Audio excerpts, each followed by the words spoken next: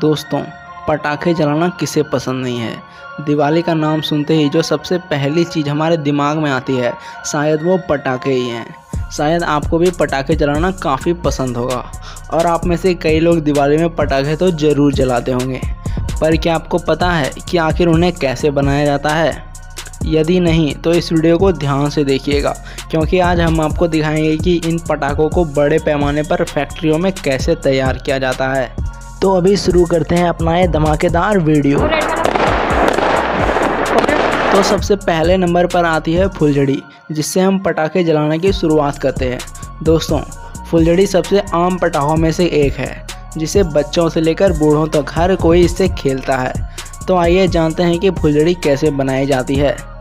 तो सबसे पहले एक बड़ी लकड़ी के खांचे में मेटेलिक तारों को डाला जाता है। इसके लिए वो तारों को लकड़ी से बने सांचे में डाल देते हैं और फिर दूसरी लकड़ी से उसे पैक कर देते हैं। बाद में इन सभी को एक लॉक के ज़रिए पैक किया जाता है, जो कुछ इस तरह दिखता है। अब इन तारों को बारूद से बने एक पेस्ट में डुबाया जाता है और पेस्ट सूख जाने के बाद फिर से उसे इसी पेस्ट में डुबाया जाता है, ताकि फुलझड़ी मोटी हो सके।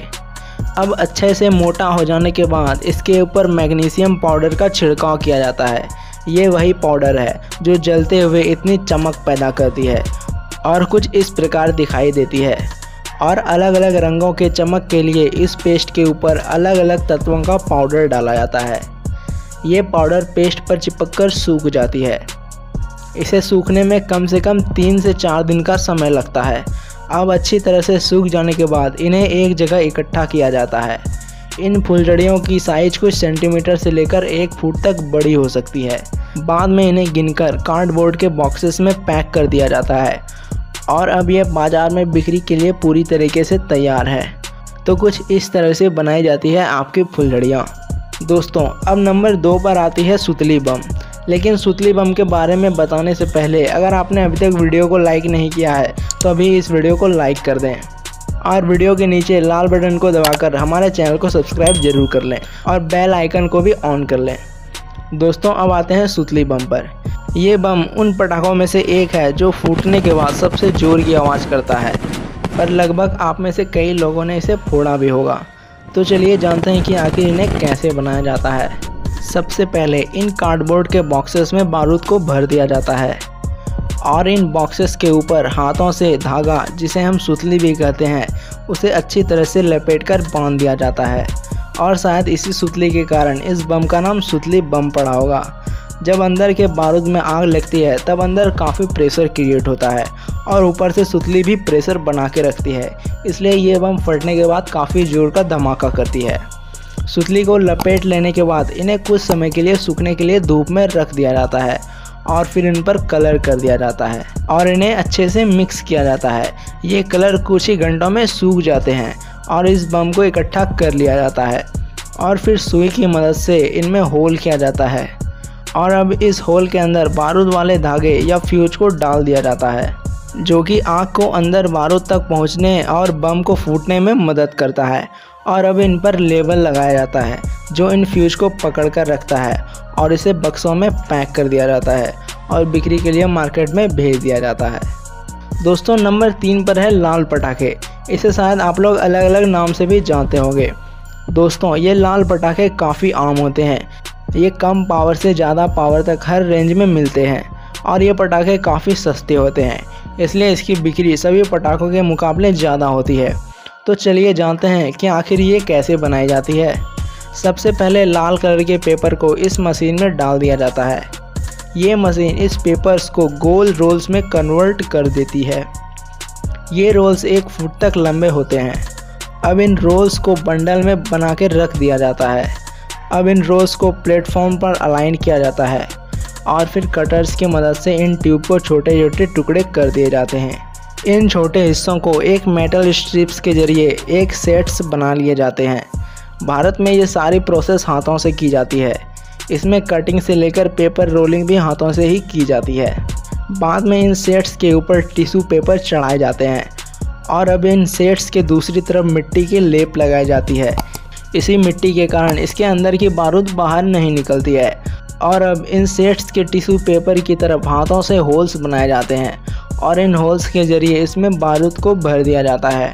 और अब बारी आती है फ्यूज बनाने की, जो पटाखों का सबसे ज़रूरी हिस्सा है। सबसे पहले धागों को बारूद की पेस्ट में डुबाकर सुखाया जाता है। अब इन फ्यूज को छोटे साइज़ में काट दिया जाता है। अब इन फ्यूज को पेस्ट की तौर पर बनाए हुए बारूद में डुबाकर इन पटाखों के ऊपर लगाया जाता है। अब पटाखों के सेट सूख जाने के बाद इन सभी पटाखों को मेटल स्ट्रिप से बाहर निकाल लिया जाता है। अब एक एक करके हाथों से इन पटाखों की लड़े बना लिए जाते हैं। और सबसे आखिर में इन पटाखों को छोटे छोटे पैकेट्स में पैक किया जाता है, या इनके बड़े वाले रोल्स भी बनाए जाते हैं, और अब ये बिक्री के लिए तैयार है। दोस्तों, अब नंबर चार पर आती है हम सबकी फेवरेट चक्री। इसे जलाने में जितना मज़ा आता है, उतना ही मज़ा इसे देखने में भी आता है। तो चलिए अब देखते हैं चक्री कैसे बनती है। दोस्तों, चक्री को बनाने के लिए पेपर ट्यूब का यूज़ किया जाता है। फिर उस पेपर ट्यूब में बारूद भर दी जाती है। फिर इन सभी ट्यूब को एक प्लेटफॉर्म पर रखा जाता है और एक बेलन की सहायता से इसको चक्री का सेप दे दिया जाता है। फिर उसमें गोंद लगाकर एक सांचे में सेट होने के लिए रख दिया जाता है। कुछ देर बाद गोंद सूखकर उसे चक्री का रूप दे देती है। उसके बाद चक्री के एक तरफ़ लट्टू जैसी कार्डबोर्ड को चिपकाया जाता है, जिससे चक्री को घूमने में आसानी होती है। और चक्री के दूसरी ओर कंपनी अपना स्टिकर चिपका देती है और अब इन चक्रियों को बॉक्सेस में पैक कर मार्केट में भेज दिया जाता है। दोस्तों, अब सबसे आखिर में आती है अनार, जो जलने पर सबको अपनी ओर आकर्षित कर लेती है। दोस्तों, इसे बनाने के लिए सबसे पहले कार्डबोर्ड को एक खास शेप में काट लिया जाता है। फिर इसके ऊपर गोंद लगाकर इसको कोन का शेप दे दिया जाता है और इसके नुकीले वाले साइड में टिश्यू पेपर को लगाया जाता है। उसके बाद इसमें दूसरी तरफ़ से बारूद को भर दिया जाता है और एक कार्डबोर्ड की सहायता से उसे ढक दिया जाता है। फिर इसको सील करने के लिए इसके पीछे मट्टी का लेप चढ़ाया जाता है और अब बारी आती है फ्यूज लगाने की। फ्यूज लगाने के लिए सबसे पहले टिश्यू पेपर में छेद कर दिया जाता है। उसके बाद फ्यूज को बारूद के पेस्ट में डुबोकर अनार के होल्स में डाल दिया जाता है। फिर इसको सूखने के लिए धूप में रख दिया जाता है। फिर सूख जाने के बाद आखिर में अनार के ऊपर कंपनी अपना स्टिकर चिपका देती है। फिर इन्हें बॉक्सेस में पैक कर बाज़ार में बिक्री के लिए भेज दिया जाता है। दोस्तों, अब दिवाली काफ़ी नज़दीक आ रही है तो ज़ाहिर सी बात है कि आप भी पटाखे ज़रूर खरीदेंगे। इसलिए मुझे कमेंट बॉक्स में कमेंट करके ज़रूर बताएँ कि आपका फेवरेट पटाखा कौन कौन सा है।